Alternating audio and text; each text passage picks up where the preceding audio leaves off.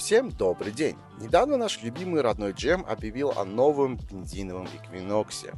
Прежде чем мы начнем, хотел бы поблагодарить всех за донаты, за лайки и комменты и вашу подписку. Если вы хотите поддержать канал финансово, то ссылка в описании внизу. Примерно год назад GM объявил о новом электроэквиноксе, но отпускать прибыльный бензиновый Equinox из дома Chevrolet, когда есть потенциал дожать все капли прибыли, будет как-то не по-американски. Дизайн нового Equinox зависит от позиции, которую вы выберете. Первая позиция LT, также она известна в кругах GM как позиция Beach Packet, выглядит просто и приятно на глаз. Вторая позиция RS, выглядит она агрессивно и брутально. GM говорит, что все новые Equinox будут продаваться с 4-цилиндровым мотором и 1.5 литром турбо. И даже вот эта комплектация RS будет продаваться с тем же мотором.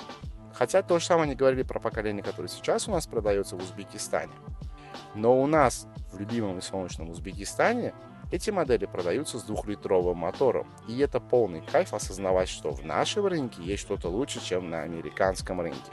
А так меня очень сильно расстраивает то, что имя RS будет с полтора-литровым мотором. Я считаю это просто неэстетично.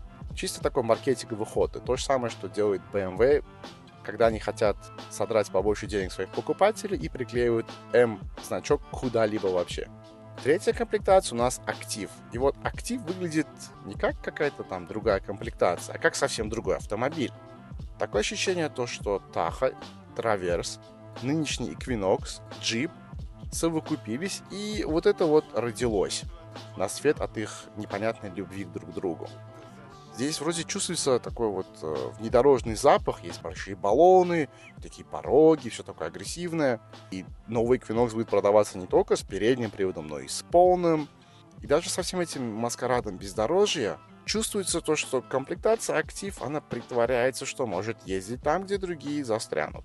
Напоминает мне 30-летнего мужика с пузом, который после просмотров бандитских сериалов возомнил себя главным героем в любой ситуации.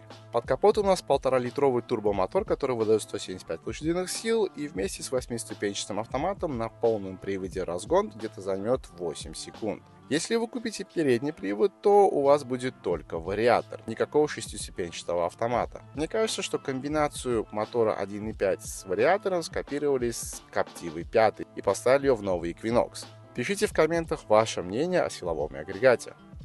Интерьер выглядит намного красивее и более дороже. Качество интерьера пока точно неизвестно, но на картинке все такое дорогое и приятное на ощупь.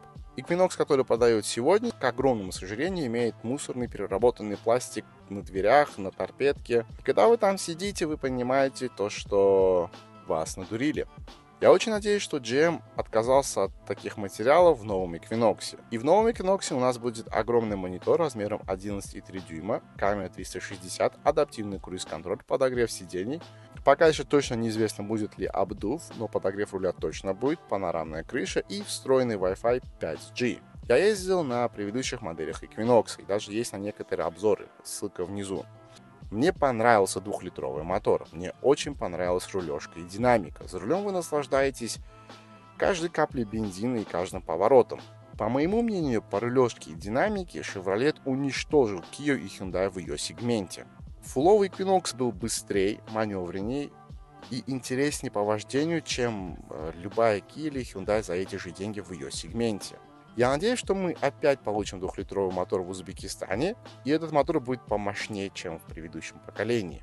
И тогда эта машина будет очень интересна для нашей публики. Пишите в комментах, что вы думаете о новом Equinox. Также не забывайте про благотворительный проект Food for Life УЗ.